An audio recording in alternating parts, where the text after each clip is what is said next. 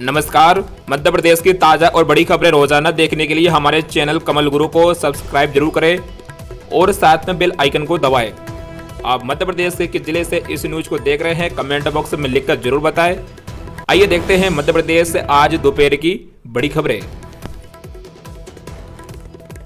PM किसान सम्मान निधि जल्द खाते में आएँगे ग्यारहवीं किस्त के 2000 इन किसानों को नहीं मिलेगा लाभ। आपको बता दें, पीएम किसान सम्मान निधि योजना से जुड़ी एक बड़ी खबर है। 12 करोड़ 50 लाख से अधिक करोड़ों लभ्यर्थी किसानों के खातों में जल्द ग्यारहवीं किस्त के दो हज़ार रुपये आने वाले हैं। इसके लिए किसान आपके अपने खाते के अपडेट चेक करते रहे और आपको एप टी ओ is generated and payment confirmation is pending लिखा हुआ दिख रहा है। तो समझ लीजिए, खाते में जल्द पैसा ट्रांसफ़र होने वाला है। वही अगर आपके अभी तक ई के नहीं करवाया है तो जल्द करवा ले, वरना किस्त अटक सकती है। दरअसल, पीएम किसान सम्मान निधि योजना के तहत सरकार दो हज़ार रुपये की तीन किस्त यानी छः हज़ार रुपये सालाना किसानों को देती है सरकार द्वारा हर चार महीने में किस्तों के अकाउंट में दो हज़ार रुपये ट्रांसफ़र किए जाते हैं।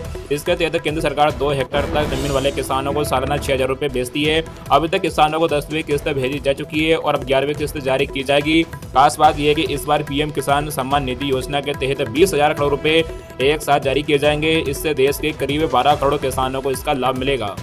जिन किसानों ने अभी तक ई के नहीं करवाया है, वे इकतीस मई से पहले करवा ले, वरना किस्त अटक सकती है। पीएम किसान योजना 2021 के तहत सरकार ने लाभार्थियों ई के वाई करवाना अनिवार्य कर दिया गया है। पहले पोर्टल पर ई के की सुविधा दी जा रही थी, लेकिन अब इसे बंद कर दिया गया है। वेबसाइट पर दी गई जानकारी के अनुसार अब लाभार्थी किसानों को अपने नजदीकी सी एस केंद्र जाकर बायोमेट्रिक आधारित ई के कराना होगा। सरकार को गेहूँ बेचने में अब दिलचस्पी, भोपाल में 12 दिन में खरीदा ग्यारह दशमलव अस्सी लाख कुंटल गेहूँ 16 मई तक चलेगी खरीदी। स्लोड बुकिंग की डेट बढ़ी आपको बता दें, भोपाल, जबलपुर, ग्वालियर समेत प्रदेश के सैंतीस जिलों में समर्थन मूल्य पर गेहूँ खरीदी को 12 दिन बीत चुके हैं। शुरुआती एक दो दिन किसानों ने सरकार को गेहूँ बेचने में कम दिलचस्पी दिखाई, लेकिन अब सभी खरीदी केंद्रों पर गेहूँ से भरी गाड़ियों की कतार लगी हुई है। अकेले भोपाल में ही अभी तक ग्यारह लाख अस्सी हज़ार कुंटल गेहूँ खरीदा जा चुका है, जो कुल टारगेट का चालीस प्रतिशत है। इधर सरकार ने इस लोड बुकिंग की डेट बढ़ा दी है। अब किसान तीस अप्रैल तक इस लोड बुक करवा सकते हैं। भोपाल के सतहत्तर खरीद केंद्रों में से अधिकांश में चार और पाँच अप्रैल को वीरानी छाई हुई थी, वही तो कई पाँच छः स्लोटी बुक हुए थे। इसमें बहुत कम गेहूँ खरीदा गया था, लेकिन इसके बाद गेहूँ खरीदी की रफ्तार बढ़ गई और किसान गेहूँ लेकर केंद्रों पर पहुँचे। हल्की क्वालिटी गेहूँ के मंडी में कम रेट। आपको बता दें, सरकार दो हज़ार पंद्रह प्रति कुंटल के हिसाब से गेहूँ खरीद रही है। वर्तमान में अन्नपूर्णा और लोकवन वैरायटी का अच्छा गेहूँ तो तेईस सौ रुपये प्रति कुंटल तक बिक रहा है, लेकिन हल्की क्वालिटी का गेहूँ के भाव उन्नीस सौ से दो हज़ार रुपये के बीच है। इसलिए अपना गेहूँ बेचने के लिए किसानों का रुझान सरकार के लिए बढ़ गया है।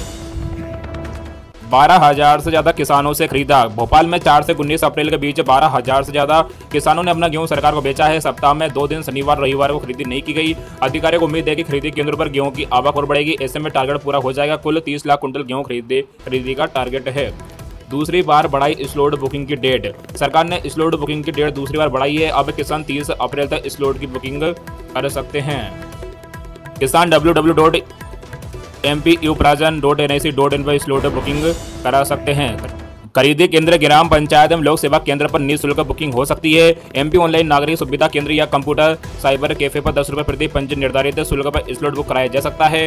स्लोट बुकिंग में तारीख गलत हो जाने पर किसान स्लोट डिलीट करवाकर नवीन संशोधित दिनांक का स्लोट बुक करा सकते हैं। स्लोट बुकिंग के सात दिन के भीतर किसानों को अपना गेहूँ खरीदी केंद्र पर ले जाना होगा। पहली से बारहवीं तक सभी कक्षाओं का रिज़ल्ट सात मई तक आने के असर। आपको बता दें, सरकारी स्कूलों की पहली क्लास से लेकर बारहवीं कक्षा तक सभी क्लासेस के रिज़ल्ट सात मई से पहले घोषित किए जाने का असर है। इसकी वजह यह कि इस बार होली के पहले खत्म हुई एमपी बोर्ड की दसवीं बारहवीं कक्षा की परीक्षा का वैल्यूएशन दस अप्रैल तक पूरा करने का टारगेट रखा गया था। इसी तरह नवी और ग्यारहवीं कक्षा के एग्ज़ाम ग्यारह अप्रैल तक खत्म हो चुके हैं।